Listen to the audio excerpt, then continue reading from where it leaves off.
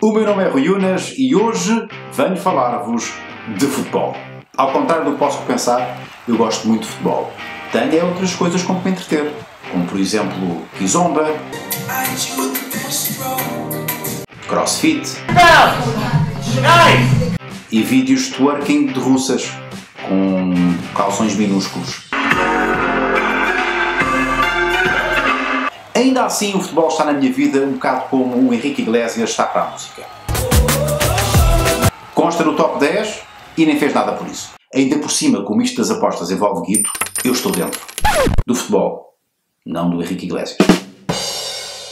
Bem, então o que é que vai acontecer?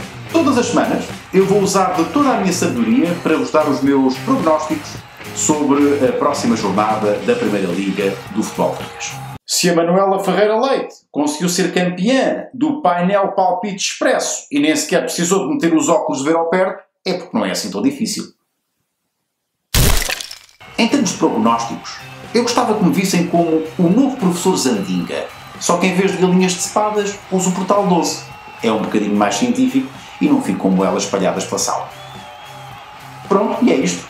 A apresentação está feita. Para a semana volto e a sério. E vocês não podem perder.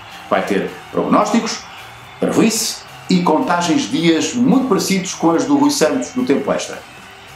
Inúteis, portanto. Resta-me apenas desejar muito boa sorte ao meu Amora nesse grande derby contra o Sesimbra já na próxima semana.